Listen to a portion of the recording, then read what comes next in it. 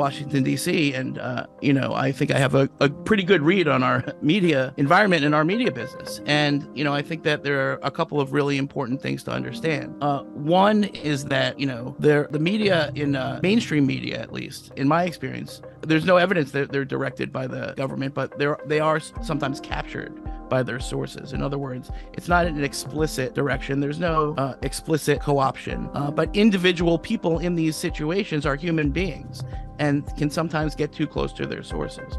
And because uh, the media is made up of human beings, and because the government is made up of human beings, there are sometimes some of these people t- can be unethical. Some of them can be bad. Uh, some of them can uh, uh, do things between the government and media that are not pure in the journalistic integrity sense. For sure, those things, you can find those examples. But I'm here to tell you that the vast, vast majority of journalists, even in Washington, even today, are honest, hardworking people trying to get, get it right and are trying to be honest with their readers while dealing with their sources from a position of professional antagonism.